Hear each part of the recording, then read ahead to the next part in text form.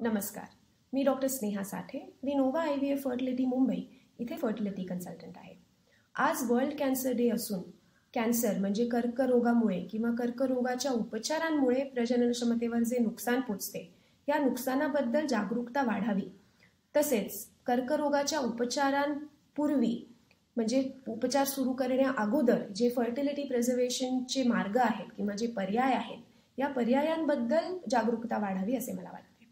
तरुण व्यक्तींमध्ये होणारे कॅन्सर्स म्हणजे ब्रेस्ट कॅन्सर स्तनाचा कॅन्सर सर्वायकल कॅन्सर म्हणजे गर्भाशयाच्या तोंडापाशी जो कॅन्सर होतो किंवा ओवेरियन कॅन्सर तसेच पुरुषांमध्ये टेस्टिक्युलर कॅन्सर.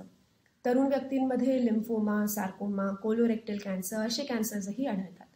तर अशा कर्करोगांमुळे किंवा अशा कर्करोगांच्या उपचारांमुळे म्हणजे शस्त्रक्रिया असो किंवा किमोथेरपी असो किंवा रेडिओथेरपी असो या उपचारांमुळे अशा तरुण व्यक्तींना पुढे जाऊन इन्फर्टिलिटी किंवा वंध्यत्व होण्याचा धोका वाढलेला असतो. तर ही हानी किंवा ह्या नुकसानाचा धोका त्या पेशंटच्या वयावरती किंवा कर्करोगाच्या प्रकारावर त्या कर्करोगाच्या कॅन्सरच्या स्टेजवर तसेच कर्करोगासाठी कोणती उपचार पद्धती ठरली आहे त्या ह्या गोष्टींवर अवलंबून असतो. हल्लीच्या दिवसामध्ये ॲडव्हान्स टेक्नॉलॉजीज अवेलेबल आहेत.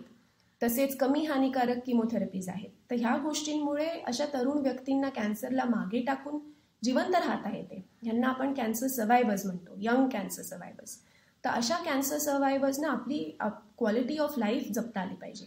त्यांना पुढचे आपले आयुष्य हवे तसे जगता आले पाहिजे. तसेच त्यांना जर पुढे जाऊन प्रेग्नन्सी किंवा मूल प्लॅन करावंसे वाटत असले तर ते देखील शक्य झाले पाहिजे.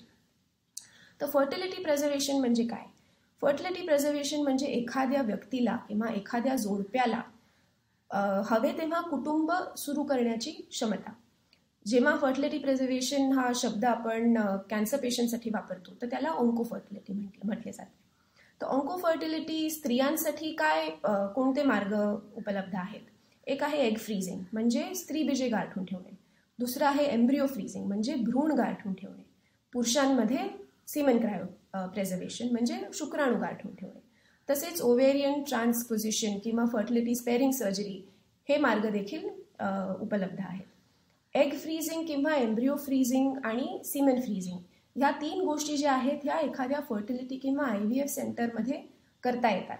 पण हे महत्त्वाचे आहे की ह्या तिन्ही गोष्टी कॅन्सरचा उपचार सुरू करण्या अगोदर केले केल्या पाहिजेत. म्हणजे स्त्रियांमध्ये एग फ्रीजिंग आणि एम्ब्रिओ फ्रीजिंग जे आपण म्हणतो ह्या दोन गोष्टी करण्यासाठी साधारण दहा बारा दिवस किंवा दोन आठवडे लागतात. समजा कॅन्सरचा डायग्नोसिस झाल्यानंतर ट्रीटमेंट सुरू होईपर्यंत हा दोन किंवा तीन आठवड्याचा वेळ असला तर ह्या दोन किंवा तीन आठवड्यांमध्ये त्या स्त्रीला आपली स्त्री बेजे किंवा तिचं लग्न झालेलं असलं तर तिचे गर्भ किंवा भ्रूण हे गाठून ठेवण्याची पद्धती उपलब्ध आहे. तर असे फर्टिलिटी प्रिझर्वेशनचे ऑप्शन्स किंवा असे फर्टिलिटी प्रिझर्वेशन्सचे मार्ग निवडून एखाद्या कॅन्सर सर्वायवरला पुढे जाऊन कॅन्सर मुक्त झाल्यानंतर प्रेग्नन्सी होऊ शकते. हे आपण सर्वांपाशी ही ह्या गोष्टीची जागरूकता आणखीन व्हायला हवी असे मला वाटते. थँक्यू